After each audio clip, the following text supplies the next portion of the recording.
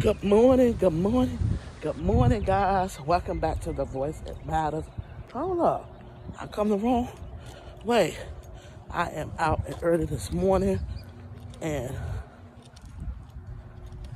I need some hot tea. Some hot tea. I'm up here to the college, guys. So, ooh, gotta keep that mind fresh. Start over guys, always remember it's okay to start over, okay? So I'm up here this morning, early this morning, up here to the college, and that's how my day gonna go, okay? So I will be MIA up here to the college, so around maybe about 12, 30, 1 o'clock, all right? And it's like at 8 now, so everyone have a wonderful, great Tuesday.